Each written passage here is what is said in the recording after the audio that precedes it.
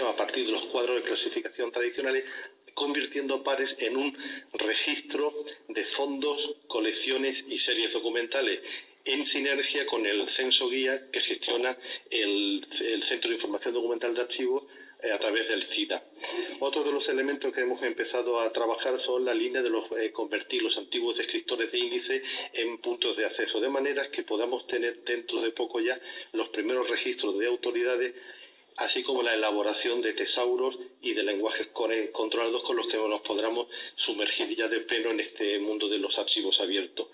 También es posible, ya, ya tenemos elaborado, incorporado herramientas de multilingüismo a través de los puntos de acceso geográfico y de materia en una parte y hemos elaborado también un proyecto que será inaugurado próximamente de geolocalización trabajando a partir de la georreferencia aplicada a los eh, descriptores geográficos.